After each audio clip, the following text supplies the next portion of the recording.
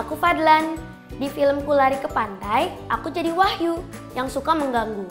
Tapi kamu enggak kan?